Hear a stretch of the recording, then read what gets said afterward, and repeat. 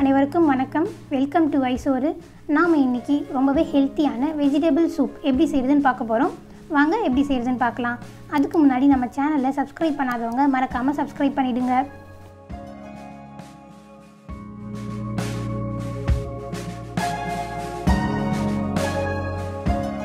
கடாய் நல்லா சூடானதும் அதில் ஒரு அரை ஸ்பூன் எண்ணெய் ஊற்றிக்கலாம் அப்படி இல்லைன்னா நீங்கள் ஒரு அரை ஸ்பூன் நெய் கூட போட்டுக்கலாம்.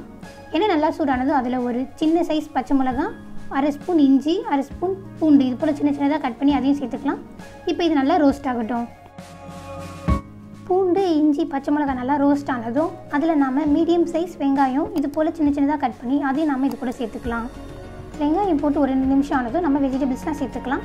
நான் இன்றைக்கி ஒரு சின்ன சைஸ் கேரட்டை இது போல் சின்ன சின்னதாக கட் பண்ணி சேர்த்துக்கிறேன். கோஸையும் கொஞ்சமாக சேர்த்துக்கோங்க. இது கூடவே ஒரு மீடியம் சைஸ் உருளைக்கிழங்கையும் இது போல் சின்ன சின்னதாக கட் பண்ணி அதையும் நான் இது கூட சேர்த்துக்கிறேன். நீங்கள் எந்த வெஜிடபிள்ஸ் வேணாலும் ஆட் பண்ணலாம். நான் இன்றைக்கி இந்த மூணு வெஜிடபிள்ஸையும் ஆட் பண்ணியிருக்கேன் வெஜிடபிள்ஸ்லாம் போட்டு ஒரு அஞ்சு நிமிஷம் ஆனதும் நம்ம சூப்புக்கு தேவையான அளவு தண்ணி சேர்த்துடலாம்.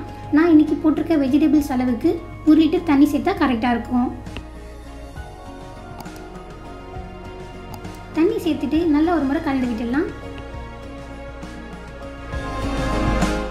இந்த ஸ்டேஜில் சூப்புக்கு தேவையான அளவு உப்பு சேர்த்தா கரெக்டாக இருக்கும். நான் இன்றைக்கி ஒரு ஒன்றே கால் ஸ்பூன் உப்பு சேர்த்துக்கிறேன் இது கூட.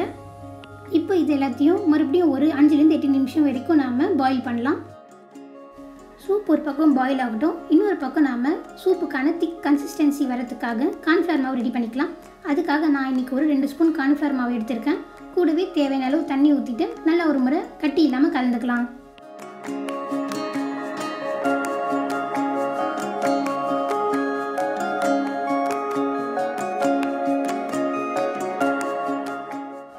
இப்போ ஒரு அஞ்சு நிமிஷம் போல் ஆயிருக்கு. வெஜிடபிள்ஸ் எல்லாம் நல்லாவே வெந்து வந்திருக்கு.